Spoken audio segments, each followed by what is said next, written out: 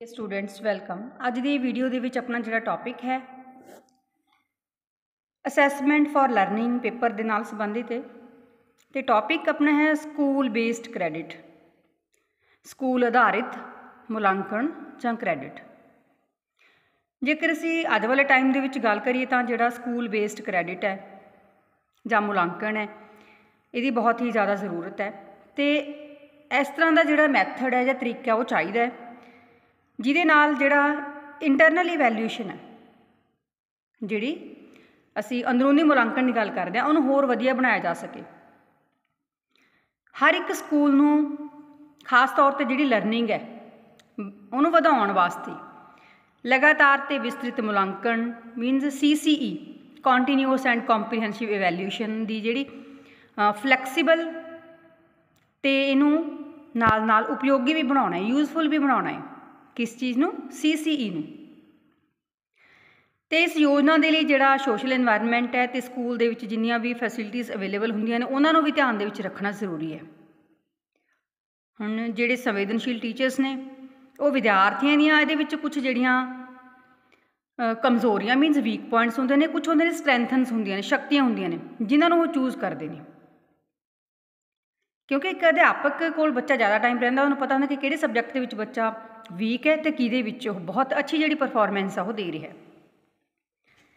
ਤੇ ਅਧਿਆਪਕ ਜਦੋਂ ਇਹਨਾਂ ਨੂੰ ਚੂਜ਼ ਕਰਦੇ ਨੇ, ਤਾਂ ਉਹਦੇ ਲਈ ਕੁਝ ਨਾ ਕੁਝ ਜਿਹੜੇ ਮੈਥਡਸ ਨੇ, ਉਹ ਯੂਜ਼ ਕਰਦੇ ਨੇ। ਮੀਨਸ ਅਧਿਆਪਕ ਨੂੰ ਪਤਾ ਹੋਣਾ ਚਾਹੀਦਾ ਹੈ ਕਿ ਮੈਂ ਕਿਸ ਤਰੀਕੇ ਨਾਲ ਬੱਚੇ ਦੀ ਜਿਹੜੀ ਇਵੈਲਿਊਏਸ਼ਨ ਉਹ ਕਰਨੀ ਹੈ। ਸਕੂਲਾਂ ਦੁਆਰਾ ਜਿਹੜਾ ਇੰਟਰਨਲ ਇਵੈਲੂਏਸ਼ਨ ਹੈ ਉਹਦੇ ਵਿੱਚ ਦੁਰਵਿਵਹਾਰ ਮੀਨਸ ਕਈ ਵਾਰ ਟੀਚਰ ਵੀ ਪਾਰਸ਼ੈਲਿਟੀ ਕਰ ਜਾਂਦੇ ਨੇ। ਜਾਂ ਸਿਫਾਰਿਸ਼ ਆ ਜਾਂਦੀ ਹੈ। ਤਾਂ ਉਸ ਚੀਜ਼ ਨੂੰ ਰੋਕਣ ਦੇ ਲਈ ਇਹਨੂੰ ਇੱਕ ਕਰਮ ਦੇ ਅਨੁਸਾਰ, ਇੱਕ ਸੀਕੁਐਂਸ ਦੇ ਵਿੱਚ ਲੈ ਕੇ ਚੱਲਣਾ ਨਾ ਕਿ ਇਹ ਪੂਰਨ ਮਾਪ ਦੇ ਅਨੁਸਾਰ ਹੋਵੇ। ਮੀਨਸ ਅਸੀਂ ਦੇਖਣਾ ਕਿ ਬੱਚਾ ਕਿੰਨਾ ਡਿਜ਼ਰਵ ਕਰਦਾ ਹੈ। ਇਹ ਮੁਲਾਂਕਣ ਬਾਹਰੀ ਪ੍ਰੀਖਿਆ ਦੇ ਨਤੀਜੇ ਅਨੁਸਾਰ ਵੀ ਹੋ ਸਕਦਾ ਹੈ। ਮੀਨਸ ਜਿਹੜੀ ਬੱਚੇ ਦੇ ਥਿਊਰੀ ਹੁੰਦੇ ਆ ਪੇਪਰ ਜਾਂ ਥਿਊਰੀ ਕੁਝ ਪ੍ਰੈਕਟੀਕਲ ਹੁੰਦੇ ਨੇ, ਉਹ ਬੇਸ ਤੇ ਵੀ ਅਸੀਂ ਬੱਚੇ ਜਿਹੜੀ ਮੁਲਾਂਕਣ ਹੈ ਜਾਂ ਇਵੈਲਿਊਏਸ਼ਨ ਉਹ ਕਰ ਸਕਦੇ ਹਾਂ।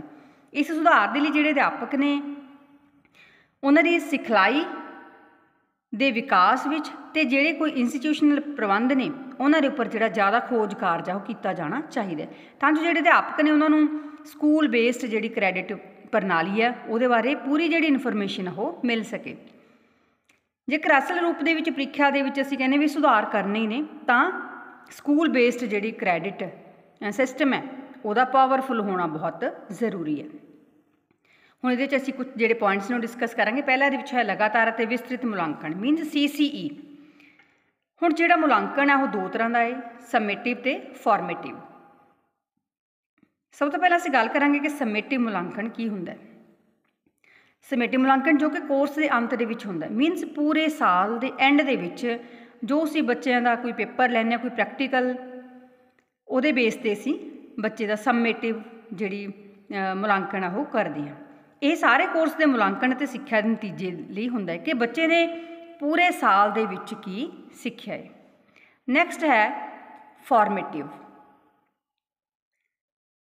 ਫਾਰਮੇਟਿਵ ਜੋ ਕਿ ਕੋਰਸ ਦੇ ਦੌਰਾਨ ਲਗਾਤਾਰ ਮੀਨਸ ਇਹ ਰੈਗੂਲਰ ਹੁੰਦਾ ਰਹਿੰਦਾ ਹੈ ਤੇ ਸਿੱਖਿਅਕ ਨਤੀਜਿਆਂ ਦੀ ਸਮੇਂ ਸਿਰ ਜਾਂਚ ਦੇ ਲਈ ਹੁੰਦਾ ਹੈ। ਮੀਨਸ ਜੋ ਅਸੀਂ ਨੇ ਅੱਜ ਬੱਚੇ ਨੂੰ ਪੜਾਇਆ ਉਹਦੇ ਬਾਰੇ ਬੱਚੇ ਨੇ ਕਿੰਨਾ ਸਿੱਖਿਆ? ਜਿਹੜੀ ਸਕੂਲ ਬੇਸਡ ਕ੍ਰੈਡਿਟ ਤੇ ਜਿਹੜਾ ਵਿਸਤ੍ਰਿਤ ਮੁਲਾਂਕਣ ਪ੍ਰਣਾਲੀ ਹੈ ਉਹਨੂੰ ਲਾਗੂ ਕਰਨ ਦੇ ਕੁਝ ਕਾਰਨ ਨੇ, ਜਿਵੇਂ ਕਿ ਬੱਚਿਆਂ ਦਾ ਜਿਹੜਾ ਸਟ੍ਰੈਸ ਆ, ਉਹਨੂੰ ਘੱਟ ਕਰਨਾ। ਮੁਲਾਂਕਣ ਨੂੰ ਵਿਸਤ੍ਰਿਤ ਅਤੇ ਲਗਾਤਾਰ ਬਣਾਉਣਾ, ਵਿਸਤ੍ਰਿਤ ਮੀਨਸ ਕੰਪਰੀਹੈਂਸਿਵ ਕਿ ਬੱਚੇ ਦੇ ਸਾਰੇ ਹੀ ਐਸਪੈਕਟਸ ਇਹਦੇ ਵਿੱਚ ਇਨਕਲੂਡ ਹੁੰਦੇ ਹੋਣ। ਲਗਾਤਾਰ ਮੀਨਸ ਕੰਟੀਨਿਊਸਲੀ ਫਿਰ ਅਧਿਆਪਕ ਦੁਆਰਾ ਸਿਰਜਣਾਤਮਕ ਸਿੱਖਿਆ ਦੇਣਾ। ਹੁਣ ਜੇ ਟੀਚਰ ਦੇਖੋ ਕੋਈ ਐਜੂਕੇਸ਼ਨ ਕ੍ਰੀਏਟਿਵ ਵੇ ਨਾਲ ਦੇਗਾ, ਤਾਂ ਹੀ ਬੱਚੇ ਵਧੀਆ ਤਰੀਕੇ ਨਾਲ ਸਿੱਖਣਗੇ ਤੇ ਤਾਂ ਹੀ ਅਸੀਂ ਉਹਨਾਂ ਦੀ ਜਿਹੜੀ ਸਹੀ ਢੰਗ ਦੀ ਇਵੈਲੂਏਸ਼ਨ ਉਹ ਕਰ ਸਕਾਂਗੇ। ਨੈਕਸਟ ਹੈ ਪਹਿਚਾਣ ਦਾ ਸਾਧਨ ਅਤੇ ਸਿੱਖਿਆ ਨੂੰ ਕੌਸ਼ਲ ਭਰਪੂਰ ਬਣਾਉਣਾ।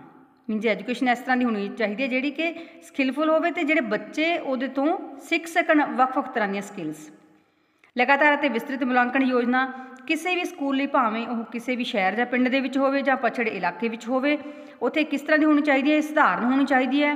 ਲਚਕੀਲੀ ਮੀਨਸ ਫਲੈਕਸੀਬਲ ਫਲੈਕਸੀਬਲ ਹੋਣੀ ਚਾਹੀਦੀ ਹੈ ਤੇ ਉਪਯੋਗੀ ਹੋਣਾ ਚਾਹੀਦਾ ਹੈ। ਇਸ ਸਕੀਮ ਦੇ ਸਿਧਾਂਤ ਅਨੁਸਾਰ ਸਕੂਲ ਅਤੇ ਅਧਿਆਪਕ ਦੁਆਰਾ ਜਿਹੜੇ ਕੋਈ ਵੀ ਨਿਯਮ ਨੇ, ਕੋਈ ਵੀ ਪ੍ਰਿੰਸੀਪਲਸ ਨੇ ਉਹ ਅਡਾਪਟ ਕੀਤੇ ਜਾਣੇ ਚਾਹੀਦੇ ਨੇ। ਨੈਕਸਟ ਹੈ ਸੀਸੀ ਸਰਟੀਫਿਕੇਟ ਦਾ ਵਿਵਾਦ।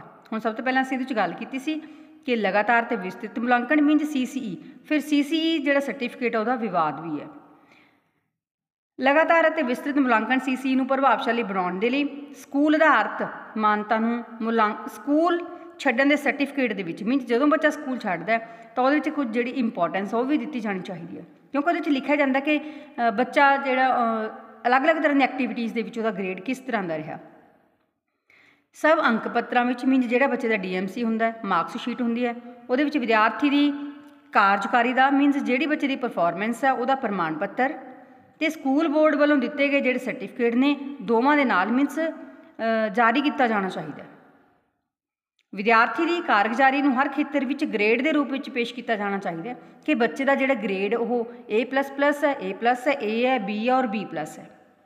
ਦੋਵੇਂ ਕਿਸਮਾਂ ਦਾ ਜਿਹੜਾ ਮੁਲਾਂਕਣ ਹੈ ਮੀਨਸ ਅੰਦਰੂਨੀ ਦੇ ਬਾਹਰੀ ਇੰਟਰਨਲ ਤੇ ਐਕਸਟਰਨਲ ਉਹ ਅਲੱਗ ਤੌਰ ਤੇ ਬੋਰਡ ਵੱਲੋਂ ਜਿਹੜਾ ਕੋਈ ਵੀ ਪ੍ਰਮਾਣ ਪੱਤਰ, ਕੋਈ ਵੀ ਮੀਨਸ ਸਰਟੀਫਿਕੇਟ ਹੈ, ਉਹਦੇ ਵਿੱਚ ਲਿਖਿਆ ਜਾਣਾ ਚਾਹੀਦਾ ਹੈ। ਫਿਰ ਇਹ ਅੰਦਰੂਨੀ ਮੁਲਾਂਕਣ ਨੂੰ ਇਮਾਨਦਾਰ ਰੱਖਣਾ। ਮੀਨਸ ਪੂਰੀ ਇਹਨੂੰ ਓਨੈਸਟਲੀ ਇਮਾਨਦਾਰੀ ਦੇ ਨਾਲ ਕਰਨਾ ਓਨੈਸਟੀ ਦੇ ਨਾਲ ਕਰਨਾ। ਅੰਦਰੂਨੀ ਮੁਲਾਂਕਣ ਨੂੰ ਇਮਾਨਦਾਰੀ ਨਾਲ ਕਰਨ ਦੇ ਲਈ ਅੰਦਰੂਨੀ ਮੁਲਾਂਕਣ ਨੂੰ ਬੋਰਡ ਦੁਆਰਾ ਬਾਹਰੀ ਮੁਲਾਂਕਣ ਦੀ ਔਸਤ ਦੇ ਵਿੱਚ ਰੱਖਣਾ ਚਾਹੀਦਾ ਹੈ। ਮੀਨਸ ਕਿ ਬੱਚਾ ਬਾਹਰੋਂ ਜਿਹੜਾ ਉਹਦੇ ਪੇਪਰ ਹੋਣਾ, ਉਹਦੇ ਵਿੱਚ ਕਿੰਨੀ ਕੁ ਜਿਹੜੀ ਪਰਫਾਰਮੈਂਸ ਆ ਉਹ ਦਿਖਾ ਸਕਦਾ ਹੈ। ਤੇ ਉਹਦੇ ਅਕੋਰਡਿੰਗ ਅਸੀਂ ਬੱਚੇ ਜਿਹੜੀ ਇੰਟਰਨਲ ਅਸੈਸਮੈਂਟ ਆ, ਉਹ ਲਗਾਉਣੀ ਹੈ। ਦੂਜੇ ਸ਼ਬਦਾਂ ਦੇ ਵਿੱਚ ਨਿਯੁਕਤ ਕੀਤੇ ਨਮੂਨੇ, ਜੋ ਕਿ ਅੰਦਰੂਨੀ ਮੁਲਾਂਕਣ, ਚੋਣ ਵਿੱਚ ਕੁਝ ਨਮੂਨਿਆਂ ਨੂੰ ਬੋਰਡ ਵੱਲੋਂ ਭੇਜੇ ਜਾਣ। ਮੀਨਸ ਜੇ ਬੱਚੇ ਦੀ ਜਿਹੜੀ ਇੰਟਰਨਲ ਪਰਫਾਰਮੈਂਸ ਹੈ। ਉਹ ਬੋਰਡ ਨੂੰ ਕੁਝ ਸੈਂਪਲ ਭੇਜੇ ਜਾਂਦੇ ਨੇ ਕਿ ਬੱਚੇ ਨੇ ਇਹ ਪ੍ਰੈਕਟੀਕਲ ਫਾਈਲਸ ਬਣਾਈਆਂ, ਇਹ ਉਹਦੀ ਅਸਾਈਨਮੈਂਟ ਵਰਕ ਹੈ, ਉਹਦੀ ਐਕਸਟਰਾ ਐਕਟੀਵਿਟੀਜ਼ ਨੇ। ਤੇ ਉਹ ਸੈਂਪਲ ਜਦੋਂ ਭੇਜੇ ਜਾਣਗੇ, ਤਾਂ ਬੋਰਡ ਨੇ ਉਹਦੇ ਬੇਸ ਤੇ ਦੇਖਣਾ ਹੈ ਜੇਕਰ ਸੈਟੀਸਫਾਈਡ ਹੋਏਗਾ ਉਸ ਕੁਆਲਿਟੀ ਤੋਂ, ਤਾਂ ਉਹਨੂੰ ਜਿਹੜਾ ਅਸੈਪਟ ਵਾਲਾ ਸਿੰਬਲ ਆ ਉਹ ਪ੍ਰੋਵਾਈਡ ਕਰੇਗਾ। ਤੇ ਉਹਦੇ ਅਕੋਰਡਿੰਗ ਬੱਚੇ ਨੂੰ ਜਿਹੜਾ ਗ੍ਰੇਡ ਹੈ ਉਹ ਦਿੱਤਾ ਜਾਏਗਾ। ਨੈਕਸਟ ਹੈ ਪ੍ਰਯੋਗੀ ਪ੍ਰੀਖਿਆਵਾਂ। ਮੀਨਸ ਪ੍ਰੈਕਟੀਕਲ ਐਗਜ਼ਾਮਸ ਇੱਕ ਸਕੂਲ ਦਾ ਹੁਣ ਜਿਵੇਂ ਕਿ ਸਾਇੰਸ ਦਾ ਦੇਖੋ ਪ੍ਰੈਕਟੀਕਲ ਹੈ ਨਾ, ਉਹਦਾ ਜੇ ਮੁਲਾਂਕਣ ਗਲਤ ਹੋਏਗਾ, ਤਾਂ ਬੋਰਡ ਦੇ ਵਿੱਚ ਬਹੁਤ ਸਾਰੇ ਜਿਹੜੇ ਹੋਰ ਸਟੂਡੈਂਟਸ ਨੇ, ਉਹਨਾਂ ਦੁਆਰਾ ਜਿਵੇਂ ਪੂਰੇ ਜਾਂ ਪੂਰੇ ਨੰਬਰ ਦਿੱਤੇ ਜਾਂਦੇ ਨੇ ਜਾਂ ਲਗਭਗ ਬਰਾਬਰ ਸਪੋਜ਼ ਕਰੋ 20 ਦਾ ਪ੍ਰੈਕਟੀਕਲ ਹੈਗਾ ਤਾਂ ਬੱਚੇ ਨੂੰ 20 ਆਊਟ ਆਫ 20 ਵੀ ਦੇ ਦਿੰਦੀ ਹੈ, ਜਾਂ ਫਿਰ 19 ਆਊਟ ਆਫ 20 ਤਾਂ ਇਹ ਇੱਕ ਹੈ ਵਧੀਆ ਗੱਲ, ਕਿਉਂਕਿ ਇੱਕ ਜਿਹੜਾ ਸਕੂਲ ਆ, ਉਹ ਪੂਰਾ ਈਅਰ ਬੱਚੇ ਨੂੰ ਆਬਜ਼ਰਵ ਕਰਦਾ ਹੈ ਕਿ ਇਹ ਬੱਚਾ ਕਿਸ ਤਰ੍ਹਾਂ ਦਾ ਹੈ। ਫਿਰ ਉਹ ਜਿਹੜਾ ਬੋਰਡ ਹੈ, ਉਹ ਆਪਣੀਆਂ ਨਿਗਰਾਨੀਆਂ ਮੀਨਜ ਜਿਹੜੇ ਆਪਣੇ ਸੁਪਰਵਾਈਜ਼ਰਸ ਨੇ, ਉਹਨਾਂ ਦੀ ਡਿਊਟੀ ਲਗਾ ਕੇ ਭੇਜਦਾ ਕਿ ਤੁਸੀਂ ਇਹਨਾਂ ਨੇ ਸਕੂਲਾਂ ਦੇ ਵਿੱਚ ਜਿਹੜੇ ਪ੍ਰੈਕਟੀਕਲਸ ਨੇ, ਉਹ ਲੈਣ ਜਾਣਾ ਹੈ। ਤਾਂ ਉੱਥੇ ਜਿਸ ਤਰ੍ਹਾਂ ਦੀ ਬੱਚਾ ਪਰਫਾਰਮੈਂਸ ਦਿਖਾਏਗਾ, ਜਿਹੜਾ ਐਕਸਟਰਨਲ ਮੀਨਜ਼ ਜੋ ਪ੍ਰੈਕਟੀਕਲ ਲੈਣ ਵਾਲਾ ਸੁਪਰਵਾਈਜ਼ਰ ਆ ਰਿਹਾ, ਉਹ ਆਪਣੇ ਅਕੋਰਡਿੰਗ ਜਿਹੜੀ ਪ੍ਰੀਖਿਆ ਲੈ ਕੇ ਬੱਚੇ ਨੂੰ ਜਿਹੜਾ ਗ੍ਰੇਡ ਆ, ਉਹ ਪ੍ਰੋਵਾਈਡ ਕਰੇਗਾ। ਹੁਣ ਜੇਕਰ ਕਿਸੇ ਬੱਚੇ ਦੇ ਜਿਹੜੇ ਮਾਰਕਸ ਨੇ, ਉਹ ਵਧੀਆ ਨਹੀਂ ਲੱਗਦੇ, ਜੋ ਬੱਚਿਆਂ ਦਾ ਇੰਟਰਸਟ ਹੈ ਸਪੋਜ਼ ਕਰੋ ਬੱਚਾ ਸਾਇੰਟਿਸਟ ਬਣਨਾ ਚਾਹੁੰਦਾ ਹੈ ਬਟ ਜੇ ਉਹਦੇ ਮਾਰਕਸ ਨੇ ਵਧੀਆ ਨਹੀਂ ਲੱਗਣਗੇ ਤਾਂ ਬੱਚੇ ਨੂੰ ਕੋਈ ਜਿਹੜੀ ਮੋਟੀਵੇਸ਼ਨ ਆ ਉਹ ਨਹੀਂ ਮਿਲੇਗੀ। ਇਸ ਕਰਕੇ ਜਿਹੜੇ ਪ੍ਰੈਕਟੀਕਲਸ ਨੇ ਹੋਣੇ ਚਾਹੀਦੇ ਨੇ ਬਟ ਉਹ ਸਹੀ ਢੰਗ ਦੇ ਨਾਲ ਲਏ ਜਾਣੇ ਚਾਹੀਦੇ ਨੇ। ਹੁਣ ਅਸੀਂ ਗੱਲ ਕਰਾਂਗੇ ਅੰਦਰੂਨੀ ਮੁਲਾਂਕਣ ਦਾ ਆਧਾਰ, ਜਿਹੜੀ ਇੰਟਰਨਲ ਇਵੈਲੂਏਸ਼ਨ ਹੈ, ਉਹਦਾ ਕੀ ਬੇਸ ਹੈ। ਅੰਦਰੂਨੀ ਮੁਲਾਂਕਣ ਹੇਠ ਲਿਖਾਂ ਤੇ ਆਧਾਰਿਤ ਹੋਣਾ ਚਾਹੀਦਾ, ਜਿਵੇਂ ਕਿ ਮੰਥਲੀ ਜਾਂਚ ਕੀਤੀ ਜਾਣੀ ਚਾਹੀਦੀ ਹੈ ਤੇ ਘਰੇਲੂ ਪ੍ਰੀਖਿਆਵਾਂ, ਜਿਵੇਂ ਕਿ ਲਿਖਤੀ ਪ੍ਰੀਖਿਆ ਦੇ ਵਿੱਚ ਸ਼ਾਮਿਲ ਹੈ। ਫਿਰ ਮੌਖਿਕ ਜਾਂਚ ਮੀਨਸ ਔਰਲ ਟੈਸਟ ਫਿਰ ਜਮਾਤ ਦਾ ਕੰਮ ਬੱਚੇ ਦਾ ਦੇਖਣਾ ਹੈ ਤੇ ਜਮਾਤ ਦੇ ਵਿੱਚ ਸਲਾਹ ਮੀਨਸ ਬੱਚਾ ਕਿਸ ਤਰ੍ਹਾਂ ਦਾ ਜਿਹੜੀ ਜਮਾਤ ਦੇ ਵਿੱਚ ਪੂਰੀ ਪਰਫਾਰਮੈਂਸ ਆ ਉਹ ਦੇ ਰਿਹਾ। ਫਿਰ ਘਰ ਦਾ ਕੰਮ ਕਿਸ ਤਰ੍ਹਾਂ ਦਾ ਕੀਤਾ, ਉਹਦਾ ਮੁਲਾਂਕਣ ਦੇ ਵਿੱਚ ਬੱਚੇ ਨੂੰ ਕਿਸ ਤਰ੍ਹਾਂ ਦਾ ਜਿਹੜਾ ਗ੍ਰੇਡ ਆ ਉਹ ਦਿੱਤਾ ਜਾ ਸਕਦਾ ਹੈ। ਫਿਰ ਜਿਹੜੀ ਲੈਬੋਰੇਟਰੀਜ਼ ਨੇ ਮੀਨਸ ਲੈਬਸ ਨੇ, ਉਹਦੇ ਵਿੱਚ ਬੱਚਾ ਪ੍ਰੈਕਟੀਕਲ ਵਰਕ ਦੇ ਵਿੱਚ ਕਿਸ ਤਰ੍ਹਾਂ ਦੀ ਪਰਫਾਰਮੈਂਸ ਦੇ ਰਿਹਾ। ਫਿਰ ਕੌਸ਼ਲ ਕੰਮਾਂ ਦੇ ਵਿੱਚ ਵਸਤੂਆਂ ਬਣਾਉਣਾ, ਕਿ ਬੱਚਾ ਕਿਸ ਕਿਸ ਤਰ੍ਹਾਂ ਦਾ ਜਿਹੜਾ ਕੰਮ ਹੈ ਉਹ ਕਰ ਸਕਦਾ ਲਾਇਬ੍ਰੇਰੀ ਦੇ ਵਿੱਚ ਆਪ ਮੁਹਾਰੀ ਸਿੱਖਿਆ ਮੀਨਜ਼ ਬੱਚਾ ਸੈਲਫ ਸਟੱਡੀ ਕਿੰਨੀ ਕੁ ਕਰਦਾ ਜਾ ਕੇ ਲਾਇਬ੍ਰੇਰੀ ਦੇ ਵਿੱਚ? ਫਿਰ ਅਲੱਗ-ਅਲੱਗ ਤਰ੍ਹਾਂ ਦੀਆਂ ਐਕਟੀਵਿਟੀਜ਼ ਨੇ, ਜਿਵੇਂ ਕਿ ਕੋਈ ਡਿਬੇਟਸ ਹੋ ਗਿਆ ਡਿਸਕਸ਼ਨਸ ਨੇ, ਕੋਈ ਹੋਰ ਪ੍ਰਤੀਯੋਗਤਾ ਦੀ ਘੋਸ਼ਣਾ ਕੀਤੀ ਗਈ ਹੈ, ਕਾਵ ਉਚਾਰਨ ਹੈ, ਡਰਾਮਾ ਜਾਂ ਹੋਰ ਸਟੇਜ ਪਰਫਾਰਮੈਂਸ ਬੱਚਾ ਇਹਨਾਂ ਦੇ ਵਿੱਚ ਕਿੰਨਾ ਕੁ ਭਾਗ ਲੈ ਰਿਹਾ ਹੈ? ਖੇਡਾਂ ਮੈਗਜ਼ੀਨਾਂ ਤੇ ਹੋਰ ਜਿਹੜੀਆਂ ਐਕਟੀਵਿਟੀਜ਼ ਨੇ, ਉਹਨਾਂ ਦੀ ਪਾਰਟਿਸਿਪੇਸ਼ਨ ਮੀਨਸ ਇਹਨਾਂ ਸਾਰੀਆਂ ਚੀਜ਼ਾਂ ਨੂੰ ਜਾਂਚਣਾ ਜ਼ਰੂਰੀ ਹੈ। ਇਹ ਕਿਸ ਚੀਜ਼ ਦਾ ਆਧਾਰ ਨੇ? ਅੰਦਰੂਨੀ ਮੁਲਾਂਕਣ ਦਾ। ਅੰਦਰੂਨੀ ਮੁਲਾਂਕਣ ਦੀਆਂ ਖੂਬੀਆਂ। ਖੂਬੀਆਂ ਮੀਨਸ ਗੁਣ। ਕਿਹੜੇ ਕਿਹੜੇ ਕਰੈਕਟਰਿਸਟਿਕਸ ਨੇ? ਕਿਹੜੇ ਕਿਹੜੇ ਇਹਦੇ ਐਡਵਾਂਟੇजेस ਨੇ? ਜਾਂ ਕਰੈਕਟਰਿਸਟਿਕਸ ਨੇ? ਇਹ ਜ਼ਿਆਦਾ ਪ੍ਰਭਾਵਸ਼ਾਲੀ ਹੈ ਮੀਨਸ ਇਫੈਕਟਿਵ ਹੈ। ਕਿਉਂਕਿ ਇਹਦੇ ਨਾਲ ਅਸੀਂ ਇੱਕ ਬੱਚੇ ਨੂੰ ਵਧੀਆ ਢੰਗ ਦੇ ਨਾਲ ਅਸੈਸ ਕਰ ਸਕਦੇ ਹਾਂ ਪੂਰਾ ਸਾਲ। ਤੇ ਉਹਦੇ ਅਕੋਰਡਿੰਗ ਅਸੀਂ ਜਿਹੜਾ ਉਹਨੂੰ ਗ੍ਰੇਡ ਆ, ਉਹ ਪ੍ਰੋਵਾਈਡ ਕਰ ਸਕਦੇ ਹਾਂ। ਫਿਰ ਜ਼ਿਆਦਾ ਭਰੋਸੇਯੋਗ ਹੈ। ਮੀਨਸ ਅਸੀਂ ਤੇ ਭਰੋਸਾ ਕਰ ਸਕਦੇ ਹਾਂ ਰਿਲਾਇਬਲ ਹੈ ਇਹ। ਲਗਾਤਾਰ ਪਰਖ ਮੁਲਾਂਕਣ। ਹੁਣ ਇਹਦੇ ਵਿੱਚ ਪੂਰਾ ਸਾਲ, ਜਦ ਤੋਂ ਬੱਚਾ ਸਕੂਲ ਵਿੱਚ ਐਡਮਿਸ਼ਨ ਲੈ ਲੈਂਦਾ, ਉਦੋਂ ਤੋਂ ਲੈ ਕੇ ਐਂਡ ਤੱਕ ਬੱਚੇ ਦਾ ਜਿਹੜਾ ਮੁਲਾਂਕਣ ਹੈ ਉਹ ਹੁੰਦਾ ਰਹਿੰਦਾ। ਮੀਨਸ ਪੂਰਾ ਸਾਲ ਚੱਲਦਾ ਰਹਿੰਦਾ ਕਿਉਂਕਿ ਪੂਰੇ ਸਾਲ ਵਿੱਚ ਟੀਚਰ ਨੂੰ ਪਤਾ ਲੱਗ ਜਾਂਦਾ ਕਿ ਇਹ ਬੱਚਾ ਕਿੱਥੇ ਕੋ ਸਟੈਂਡ ਕਰ ਰਿਹਾ, ਇਹਦੀ ਪਰਫਾਰਮੈਂਸ ਕਿੰਨੀ ਕੁ ਕਿੰਨਾ ਕੁ ਇੰਪਰੂਵ ਕਰ ਰਿਹਾ ਨੈਕਸਟ ਹੈ ਪ੍ਰੇਰਣਾ ਪ੍ਰਦਾਨ ਕਰਨਾ, ਫਿਰ ਇਹ ਮੋਟੀਵੇਸ਼ਨ ਵੀ ਦਿੰਦਾ ਬੱਚਿਆਂ ਨੂੰ ਵੀ, ਸਿੱਖਣ ਦੇ ਲਈ ਤੇ ਟੀਚਰ ਨੂੰ ਵੀ। ਟੀਚਰ ਨੂੰ ਮੋਟੀਵੇਸ਼ਨ ਮਿਲਦੀ ਹੈ ਕਿ ਜੇਕਰ ਕਿਸੇ ਸਬਜੈਕਟ ਦੇ ਵਿੱਚ ਬੱਚੇ ਨਹੀਂ ਵਧੀਆ ਆਊਟਪੁੱਟ ਦੇ ਰਹੇ, ਤਾਂ ਆਪਣੇ ਟੀਚਿੰਗ ਮੈਥਡ ਨੂੰ ਚੇਂਜ ਕਰਦਾ ਉਹ। ਅਲੱਗ-ਅਲੱਗ ਵੇਜ਼ ਅਡਾਪਟ ਕਰਦਾ ਪੜਾਉਣ ਦੇ ਬੱਚਿਆਂ ਨੂੰ। ਸੁਧਾਰਕ ਦਾ ਕੰਮ, ਇਹ ਬੱਚਿਆਂ ਦੇ ਵਿੱਚ ਇੱਕ ਸੁਧਾਰਕ ਦਾ ਕੰਮ ਵੀ ਕਰਦਾ ਮੀਨਸ ਬੱਚੇ ਵੀ ਆਪਣੇ ਆਪ ਨੂੰ ਇੰਪਰੂਵ ਕਰਦੇ ਨੇ ਤੇ ਟੀਚਰ ਵੀ ਇੰਪਰੂਵ ਕਰਦੇ ਨੇ। ਅਣਉਦੇਸ਼ਾਤਮਕ ਮਹੱਤਤਾ ਮੀਨਸ ਇਨਸਟਰਕਸ਼ਨਲ ਹੁਣ ਇਹਦੇ ਵਿੱਚ ਟੀਚਰ ਉਹਦੇ ਅਕੋਰਡਿੰਗ ਹੀ ਜਿਹੜੀਆਂ ਇਨਸਟਰਕਸ਼ਨਸ ਨੇ ਉਹ ਬੱਚਿਆਂ ਨੂੰ ਪ੍ਰੋਵਾਈਡ ਕਰੇਗਾ, ਜਿਸ ਤਰ੍ਹਾਂ ਦੀ ਜ਼ਰੂਰਤ ਹੈ। ਟੀਚਰ ਨੂੰ ਵੀ ਦੇਖੋ ਇਨਸਟਰਕਸ਼ਨ ਮਿਲਦੀਆਂ ਨੇ ਬੱਚਿਆਂ ਨੂੰ ਵੀ। ਕੋਈ ਤਣਾਅ ਨਹੀਂ, ਇਹਦੇ 'ਚ ਕੋਈ ਸਟ੍ਰੈਸ ਨਹੀਂ ਹੁੰਦਾ, ਨਾ ਬੱਚਿਆਂ ਨੂੰ, ਨਾ ਟੀਚਰਸ ਨੂੰ। ਕਿਉਂਕਿ ਬੱਚਿਆਂ ਨੂੰ ਪਤਾ ਕਿ ਅਸੀਂ ਪੂਰਾ ਸਾਲ ਦੀ ਆਪਣੀ ਪਰਫਾਰਮੈਂਸ ਉਹ ਦੇਣੀ ਹੈ ਰਿਪੋਰਟ ਤੇ ਲਿਖਤ ਰਜਿਸਟ੍ਰੇਸ਼ਨ ਲਈ ਸਿਰਲੇਖ ਹੁਣ ਅਸੀਂ ਕੋਈ ਬੱਚੇ ਦੀ ਰਿਪੋਰਟ ਲਿਖਣੀ ਹੈ ਕੋਈ ਉਹਦੀ ਜਿਹੜੀ ਰਿਟਨ ਰਜਿਸਟ੍ਰੇਸ਼ਨ ਹੈ, ਉਹਦੇ ਲਈ ਇਹ ਇੱਕ ਟਾਈਟਲ ਦਾ ਕੰਮ ਵੀ ਕਰਦੇ ਨੇ।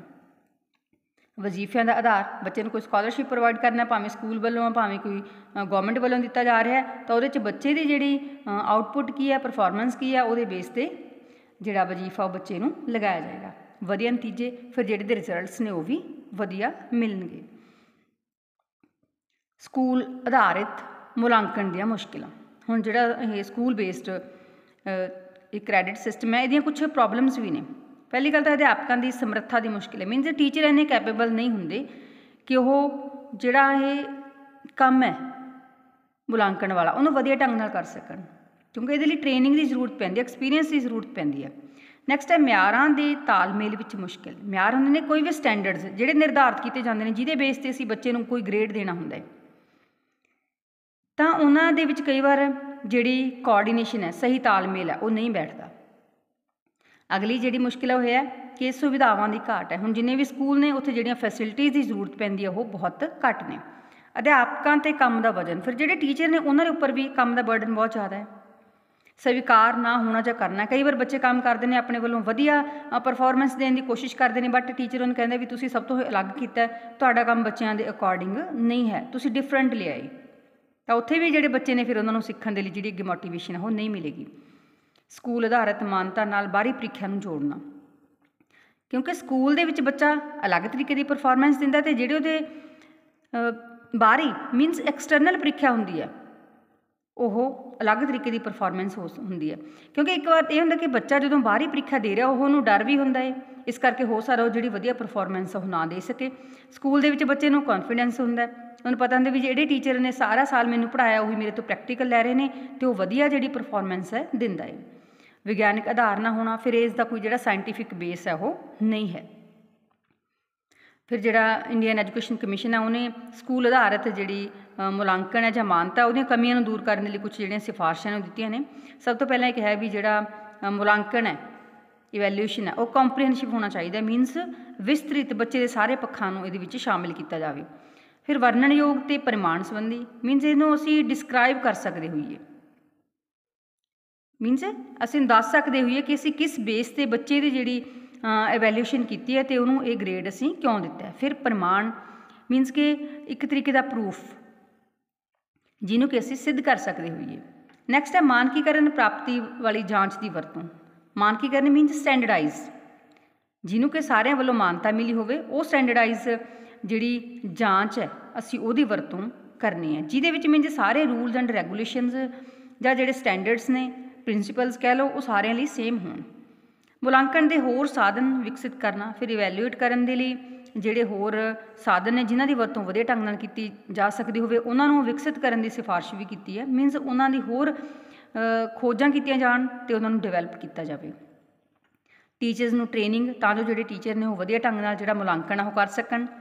ਫਿਰ ਵੱਖ-ਵੱਖ ਨਤੀਜੇ ਤੇ ਵੱਖ-ਵੱਖ ਤਰ੍ਹਾਂ ਦੇ ਜਿਹੜੇ ਰਿਜ਼ਲਟਸ ਨੇ, ਉਹ ਲਏ ਜਾਣ। ਕਿਵੇਂ ਲਏ ਜਾਣਗੇ? ਕਿਉਂਕਿ ਅਸੀਂ ਅਲੱਗ-ਅਲੱਗ ਤਰੀਕੇ ਜਿਹੜੀਆਂ ਐਕਟੀਵਿਟੀ ਜਦੋਂ ਕਰਵਾਵਾਂਗੇ ਤਾਂ ਸਾਨੂੰ ਜਿਹੜੇ ਰਿਜ਼ਲਟਸ ਨੇ ਉਹ ਵੱਖ-ਵੱਖ ਮਿਲਣਗੇ ਤੇ ਅਸੀਂ ਉਸ ਬੇਸ ਤੇ ਬੱਚੇ ਜਿਹੜੀ ਵੈਲਿਊਏਸ਼ਨ ਉਹ ਕਰਨੀ ਹੈ ਫਿਰ ਖੋਜਾਂ ਦਾ ਸੰਬੰਧ। ਅਗਲੀ ਸਿਫਾਰਿਸ਼ ਇਹ ਸੀ ਕਿ ਜਿਹੜੀਆਂ ਖੋਜਾਂ ਕੀਤੀਆਂ ਜਾਣਗੀਆਂ, ਮੁਲਾਂਕਣ ਦੇ ਨਾਲ ਸੰਬੰਧਿਤ, ਉਹ ਦੇਖਣਾ ਹੈ ਕਿ ਉਹ ਕਿੰਨੀਆਂ ਕੁ ਸੰਬੰਧਿਤ ਨੇ। ਬੱਚੇ ਦੀ ਇਵੈਲੂਏਸ਼ਨ ਕਰਨ ਦੇ ਵਿੱਚ ਕਿੰਨਾ ਕੁ ਜਿਹੜਾ ਉਹ ਪੋਜ਼ਿਟਿਵ ਰੋਲ ਪਲੇ ਕਰਦੀਆਂ ਨੇ। ਨੈਕਸਟ ਹੈ, ਪ੍ਰੀਖਿਆ ਸੁਧਾਰ ਲਈ ਜ਼ੋਨਲ ਵਰਕਸ਼ਾਪ 1974 ਅਨੁਸਾਰ ਸਕੂਲ ਆਧਾਰਿਤ ਮਾਨਤਾ ਦੀ ਵਰਤੋਂ ਦੇ ਸਹੀ ਤਰੀਕੇ ਮੀਨਸ ਕਿਸ ਤਰੀਕੇ ਨਾਲ ਇਹਨੂੰ ਵਧੀਆ ਬਣਾਇਆ ਜਾ ਸਕਦਾ ਹੁਣ ਪਹਿਲਾਂ ਅਸੀਂ ਜਿਹੜੀ ਗੱਲ ਕੀਤੀ ਸੀ ਕੁਝ ਸਮੱਸਿਆਵਾਂ ਸੀ, ਜਿਵੇਂ ਕਿ ਬਿਨਾ ਕਿਸੇ ਮੀਨਸ ਜਿਹਨੂੰ ਅਸੀਂ ਕਹਿੰਦੇ ਵੈਲ ਪ੍ਰਿਪੇਅਰਡ ਨਹੀਂ ਸੀ। ਵਧੀਆ ਜਿਹੜੀ ਤਿਆਰੀ ਤੋਂ ਇਹ ਅਪਣਾਇਆ ਗਿਆ ਸੀ। ਇਹਦੇ ਵਿੱਚ ਜਿਹੜਾ ਅਧਿਆਪਕ ਤੇ ਵਿਦਿਆਰਥੀ ਦੋਨੇ ਹੀ ਸ਼ਾਮਿਲ ਹੋਣੇ ਚਾਹੀਦੇ ਨੇ, ਕਿਉਂਕਿ ਅਧਿਆਪਕ ਨੇ ਇਵੈਲੂਏਸ਼ਨ ਕਰਨਾ ਹੈ, ਕਰਨਾ ਕਿਹਦੇ ਇਵੈਲੂਏਸ਼ਨ ਹੈ? ਬੱਚਿਆਂ ਦਾ। ਸਾਨੂੰ ਜਿਹੜਾ ਸਕੂਲ ਆਧਾਰਿਤ ਮੁਲਾਂਕਣਾਂ ਦੀ ਯੋਜਨਾ ਨੂੰ ਉਤਸ਼ਾਹਿਤ ਕਰਨਾ ਚਾਹੀਦਾ ਮੀਨਸ ਐਨਕਰੇਜ ਕਰਨਾ ਚਾਹੀਦਾ ਕਿ ਇਹ ਬੱਚਿਆਂ ਦੇ ਲਈ ਬਹੁਤ ਵਧੀਆ ਹੈ ਤੇ ਟੀਚਰ ਵੀ ਇਹਨੂੰ ਈਜ਼ੀਲੀ ਕਰ ਸਕਦਾ ਹੈ। ਅੰਦਾਜ਼ੇ ਦੇ ਆਧਾਰ ਤੇ ਸਕੂਲਾਂ ਦੁਆਰਾ ਮੁਲਾਂਕਣ ਨਹੀਂ ਹੋਣਾ ਚਾਹੀਦਾ ਮੀਨ ਜੇ ਬੱਚੇ ਦੇ ਅਸੀਂ ਇੰਨੇ ਕੁ ਨੰਬਰ ਲਗਾ ਦਈਏ, ਇੰਨੇ ਕੁ ਡਿਜ਼ਰਵ ਕਰਦਾ ਨਹੀਂ, ਇਹ ਚੀਜ਼ ਨਹੀਂ ਦੇਖਣੀ ਤੇ ਨਾ ਹੀ ਅਨੈਤਿਕ ਅਧਿਆਪਕਾਂ ਦੁਆਰਾ ਕੁਝ ਵਿਦਿਆਰਥੀਆਂ ਦਾ ਪੱਖ ਲੈ ਕੇ ਬਾਕੀਆਂ ਨੂੰ ਸ਼ਿਕਾਰ ਬਣਾਇਆ ਜਾਵੇ। ਕਿਉਂਕਿ ਜਦੋਂ ਵੀ ਵੈਲੇਸ਼ਨ ਹੁੰਦੀ ਤਾਂ ਅਧਿਆਪਕ ਦੇ ਸਾਹਮਣੇ ਹੁੰਦਾ ਕਿ ਮੈਂ ਉਹ ਬੱਚਾ, ਕੋਈ ਮੇਰੇ ਰਿਲੇਟਿਵ ਹੈ ਜਾਂ ਉਹਦੀ ਸਿਫਾਰਿਸ਼ ਆਈ ਹੈ ਜਾਂ ਉਹ ਬਹੁਤ ਅੱਛੇ ਘਰ ਤੋਂ ਆ ਰਿਹਾ ਹੈ ਜਾਂ ਕੋਈ ਹੋਰ ਤਰੀਕੇ ਨੇ। ਇਹ ਨਾ ਦੇਖਿਆ ਜਾਵੇ, ਸਗੋਂ ਦੇਖਿਆ ਜਾਵੇ ਕਿ ਬੱਚਾ ਕਿੰਨਾ ਡਿਜ਼ਰਵ ਕਰਦਾ ਉਹਦੀ ਆਊਟਪੁੱਟ ਜਾਂ ਉਹਦੀ ਪਰਫਾਰਮੈਂਸ ਕੀ ਹੈ, ਉਹਦੇ ਅਕੋਰਡਿੰਗ ਹੀ ਜਿਹੜੀ ਬੱਚੇ ਦਾ ਮੁਲਾਂਕਣ ਹੈ, ਉਹ ਕਰਨਾ ਹੈ। ਤੇ ਜਿਹੜੇ ਬੱਚੇ ਵਧੀਆ ਪੜ੍ਹਨ ਵਾਲੇ ਨੇ, ਉਹਨਾਂ ਦੇ ਨਾਲ ਕਿਸੇ ਤਰ੍ਹਾਂ ਦਾ ਜਿਹੜਾ ਪੱਖਪਾਤ ਆ, ਉਹ ਨਾ ਕੀਤਾ ਜਾਵੇ। ਹੁਣ ਕੁਝ ਜਿਹੜੇ ਤਰੀਕੇ ਨੇ, ਸਭ ਤੋਂ ਪਹਿਲਾਂ ਹੈ ਕੋਸ਼ਿਸ਼ ਕਰਨਾ ਮੀਨਸ ਐਫਰਟਸ ਐਫਰਟਸ ਬਹੁਤ ਜ਼ਰੂਰੀ ਨੇ, ਜੇ ਤੁਸੀਂ ਕੋਈ ਵੀ ਕੰਮ ਕਰਨਾ ਸਕੂਲ ਆਧਾਰਿਤ ਉੱਚ ਪੱਧਰੀ ਸਰਕਾਰੀ ਸਿੱਖਿਆ ਵਿਭਾਗਾਂ ਤੋਂ ਸਕੂਲ ਤੱਕ ਜਿਹੜੇ ਅਲੱਗ-ਅਲੱਗ ਸਟੈਪਸ ਨੇ, ਉਹਨਾਂ ਦੇ ਵਿੱਚ ਇਹਨੂੰ ਲਾਗੂ ਕੀਤਾ ਜਾਵੇ। ਲਾਗੂ ਕਰਨ ਦਾ ਮਤਲਬ ਹੁੰਦਾ ਹੈ ਕਿ ਸਾਰਿਆਂ ਦੇ ਵਿੱਚ ਜਿਹੜਾ ਇਹ ਸਕੂਲ ਆਧਾਰਿਤ ਮੁਲਾਂਕਣ ਹੈ, ਉਹ ਸ਼ੁਰੂ ਕੀਤਾ ਜਾਣਾ ਚਾਹੀਦਾ ਹੈ। ਸਾਰੇ ਹੀ ਸਟੈਪਸ ਦੇ ਉੱਪਰ, ਭਾਵੇਂ ਪ੍ਰਾਇਮਰੀ ਹੈ ਪ੍ਰੀ ਪ੍ਰਾਇਮਰੀ ਹੈ ਅਪਰ ਪ੍ਰਾਇਮਰੀ ਹੈ ਸਰਕਾਰੀ ਸੀਨੀਅਰ ਸੈਕੰਡਰੀ ਸਕੂਲ ਨੇ ਜਾਂ ਇਹਦੇ ਵਿੱਚ ਪ੍ਰਾਈਵੇਟ ਇੰਸਟੀਚਿਊਟਸ ਆਉਂਦੇ ਨੇ, ਸਾਰਿਆਂ ਦੇ ਵਿੱਚ ਇੱਕੋ ਜਿਹਾ ਹੋਣਾ ਚਾਹੀਦਾ ਹੈ। ਨਤੀਜੇ ਅਤੇ ਪੁਨਰ ਮੁਲਾਂਕਣ ਦਾ ਗਿਆਨ। ਫਿਰ ਇਵੈਲਿਊਏਸ਼ਨ ਤੋਂ ਨਾਲ ਦੀ ਨਾਲ ਹੀ ਜਦੋਂ ਅਸੀਂ ਮੀਨਸ ਬੱਚੇ ਦਾ ਮੁਲਾਂਕਣ ਕੀਤਾ, ਤੁਰੰਤ ਬਾਅਦ ਹੀ ਬੱਚੇ ਨੂੰ ਜਿਹੜੀ ਫੀਡਬੈਕ ਹੈ, ਉਹ ਦੇਣੀ ਜ਼ਰੂਰੀ ਹੈ। ਕਿਉਂਕਿ ਜਿੰਨੇ ਬੱਚੇ ਨੇ ਜਿਹੜੇ ਅੰਕ ਲਏ ਨੇ, ਅਸੀਂ ਉਹਨਾਂ ਤੋਂ ਨਾਲ ਦੀ ਨਾਲ ਬੱਚੇ ਨੂੰ ਜਾਣੂ ਕਰਾਉਣਾ ਹੈ। ਤਾਂ ਜੋ ਬੱਚੇ ਨੂੰ ਪਤਾ ਲੱਗ ਸਕੇ ਕਿ ਮੇਰੇ ਜਿਹੜੇ ਕੋਈ ਵੀਕਲੀ ਟੈਸਟ ਹੋ ਰਹੇ ਨੇ, ਕੋਈ ਕਲਾਸ ਟੈਸਟ ਹੋ ਰਹੇ ਨੇ, ਮੈਂ ਉਹਨਾਂ ਦੇ ਵਿੱਚ ਪਹਿਲਾਂ ਤੋਂ ਲੈ ਕੇ ਹੁਣ ਤੱਕ ਕਿੰਨੀ ਕੁ ਜਿਹੜੀ ਪਰਫਾਰਮੈਂਸ ਹੈ, ਉਹ ਦਿਖਾ ਰਿਹਾ ਤਾਂ ਜੋ ਜਿਹੜਾ ਬੱਚਾ ਵੀ ਇੰਪਰੂਵ ਕਰ ਸਕੇ ਤੇ ਟੀਚਰ ਵੀ ਆਪਣਾ ਜਿਹੜਾ ਟੀਚਿੰਗ ਮੈਥਡ ਹੈ, ਉਹ ਚੇਂਜ ਕਰ ਸਕੇ। ਸਕੂਲ ਆਧਾਰਿਤ ਮਾਨਤਾ ਦੇ ਰਿਕਾਰਡ ਫਿਰ ਸਕੂਲ ਆਧਾਰਿਤ ਮਾਨਤਾ ਦੇ ਜਿੰਨੇ ਵੀ ਸਾਰੇ ਡਾਕੂਮੈਂਟਸ ਨੇ ਉਹ ਬਣਾ ਕੇ ਰੱਖਣੇ ਚਾਹੀਦੇ ਨੇ ਤਾਂ ਕਿ ਬਿਲਕੁਲ ਮਾਈਕਰੋ ਲੈਵਲ ਤੇ ਜਿਹੜਾ ਸੰਖਿਅਕ ਪ੍ਰੀਖਣ ਹੋ ਸਕੇ। ਮੀਨਸ ਨੂਮੈਰੀਕਲ ਪ੍ਰੀਖਣ ਬੱਚੇ ਦਾ ਹੋ ਸਕੇ। ਮਾਈਕਰੋ ਦਾ ਅਸੀਂ ਹਰੇਕ ਪੱਖ ਤੋਂ ਬੱਚੇ ਨੂੰ ਜਾਂਚ ਸਕੀਏ। ਕੋਈ ਨਿੱਜੀ ਸਿੱਖਿਆ ਨਹੀਂ। ਮੀਨਸ ਜਿਹੜਾ ਟੀਚਰ ਆ, ਉਹਨੇ ਕਿਸੇ ਵੀ ਤਰ੍ਹਾਂ ਦਾ ਕੋਈ ਜਿਹੜਾ ਟਿਊਸ਼ਨ ਵਰਕ ਆ ਉਹ ਨਹੀਂ ਕਰਨਾ। ਅਧਿਆਪਕਾਂ ਨੂੰ ਨਿੱਜੀ ਸਿੱਖਿਆ ਦੇਣ ਦੀ ਅਨੁਮਤੀ ਨਹੀਂ ਹੋਣੀ ਚਾਹੀਦੀ, ਜਿਸ ਕਾਰਨ ਸਕੂਲਾਂ ਦੇ ਵਿੱਚ ਉਹ ਜਿਹੜਾ ਆਪਣਾ ਕੰਮ ਹੈ ਵਧੀਆ ਢੰਗ ਦੇ ਨਾਲ ਨਹੀਂ ਕਰ ਪਾਉਂਦੇ। ਕਿਉਂਕਿ ਟੀਚਰ ਨੂੰ ਲੱਗਦਾ ਕਿ ਜੇਕਰ ਬੱਚਾ ਮੇਰੇ ਕੋਲ ਟਿਊਸ਼ਨ ਤੇ ਆਏਗਾ ਤਾਂ ਹੀ ਉਹਨੂੰ ਮੈਂ ਵਧੀਆ ਕਰਵਾਵਾਂਗਾ। ਨੈਕਸਟ ਹੈ ਟਰਾਂਸਪੇਰੈਂਸੀ ਬੇਸਡ ਹੋਣਾ ਚਾਹੀਦਾ ਹੈ।